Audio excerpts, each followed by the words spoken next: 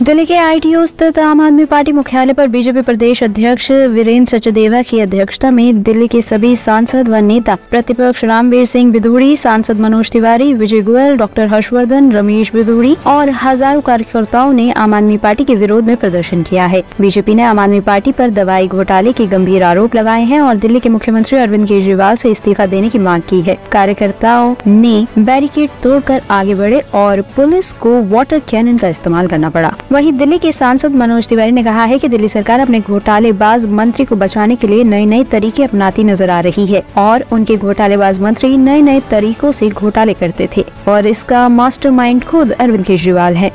जिस तरह से दवाई का नया घोटाला सामने आया है इसे क्या कहा जाएगा? दिल्ली बहुत दर्द में है? दिल्ली बहुत दर्द में है।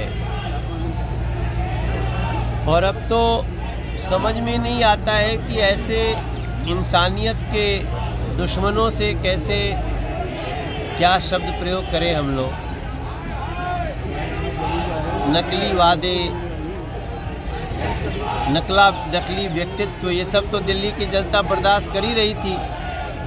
तब तक नकली दवाइयाँ आ गई। नकली दवाई मतलब सीधे सीधे जान लेने का प्रयास।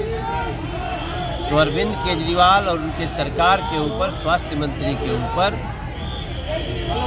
अटेम्प्ट टू मर्डर का केस चलना चाहिए। मनोज जी जब से दिल्ली सरकार आई है नए नए घोटाले सामने आ रहे हैं क्या इसमें इतना कीर्तिमान हासिल नहीं कर लिया? हमें तो ऐसा लगता है कि अरविंद केजरीवाल घोटालों की ही डिग्री लेके आए उनका इंटरेस्ट ही नहीं है किसी और कार्य में। तो देखिए हर आतंक का एक हर दर्द की एक इंतहा होती है। और अब अरविंद केजरीवाल नाम के दर्द का भी समापन होगा। दिल्ली की जनता जागेगी। और ऐसे इंसानियत के दुश्मनों को उनको अपना औकात बताए। ना तो वो ईडी के सवालों का सामना करते हैं ना जनता के सवालों का ना विपक्ष के सवालों का। क्या कहा जाएगा? कोई बात नहीं एक और है ऊपर वाला। वो सब देख रहा है। उसकी लाठी में आवाज़ नहीं होती है लेकिन असर ज़रूर दिखता है। Thank you top story bureau के लिए दिल्ली से हेमंत कुमार की रिपोर्ट।